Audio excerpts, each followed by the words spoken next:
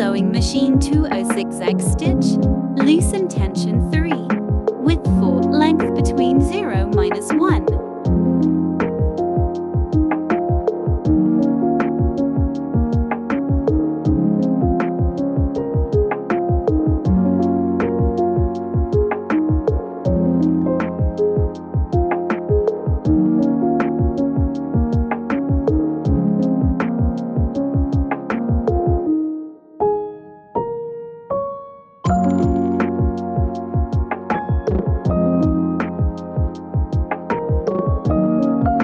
Bound the pieces together, do not overlap.